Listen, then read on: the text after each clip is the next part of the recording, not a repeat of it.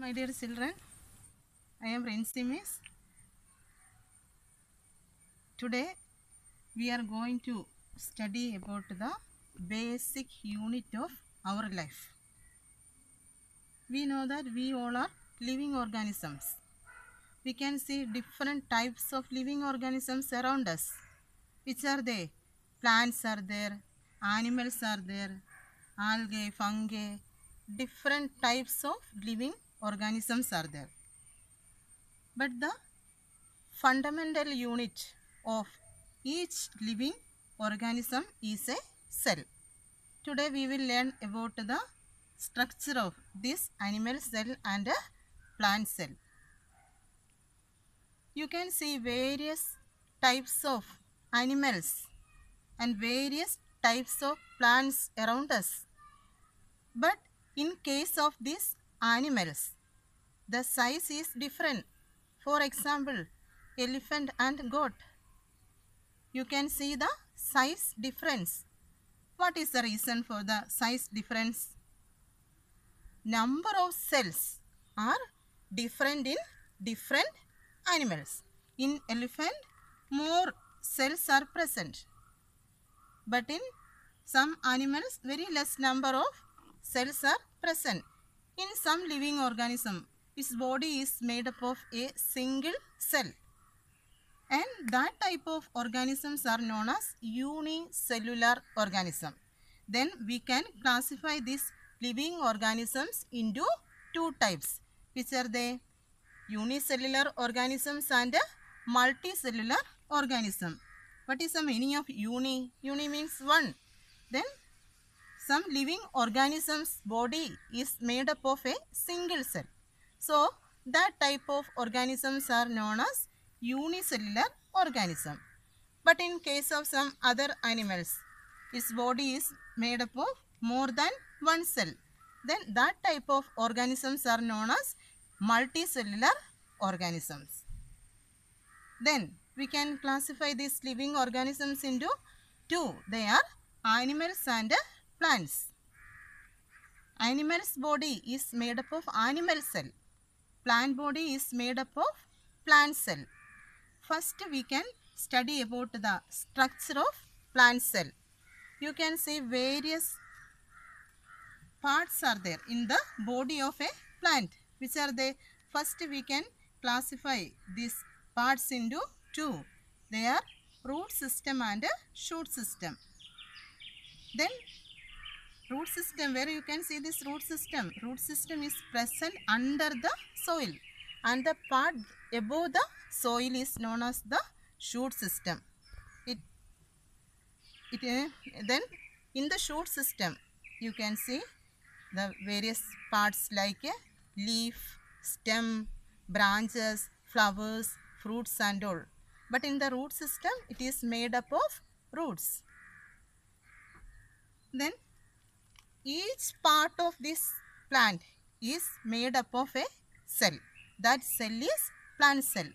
If you take the section of a root and observe under microscope, what you can see? You can see various types of cells are there. Like that any part, may be leaf, it may be stem. You can take the section of this and you can observe it under the microscope.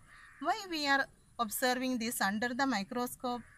Because we cannot see these cells with our naked eye. In our school, we are using compound microscope to observe the cells of plant or we can observe animal cells also. Animal body also made up of various types of cell.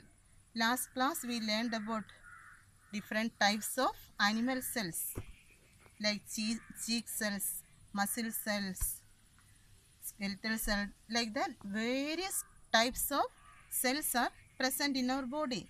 In plants also various types of cells are present. For example, parenchyma, collenchyma, sclerenchyma. Uh, these are some names of cells that present in the body of plant. Then first we are going to learn about the structure of a plant cell. We know that the outer covering of plant cell is the cell wall and inner the cell wall you can see one more membrane is present that is cell membrane then it is a double walled structure plant cell is a double walled structure. First outer wall is the cell wall and inside the inner to the cell wall you can see the cell membrane.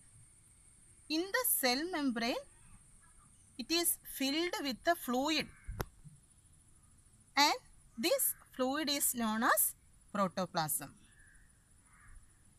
And again in the center part of the cell you can see the main part of the cell that control and generate the activities of each cell. Its name is nucleus. Nucleus is the center part. Then again you can classify this protoplasm into two. There it is cytoplasm and nucleoplasm. Fluid part present in the cell membrane and outer to the nuclear membrane is the cytoplasm. But nucleoplasm is another fluid. It is present inside the nucleus. And in the cytoplasm some, some cell, cell organelles are present.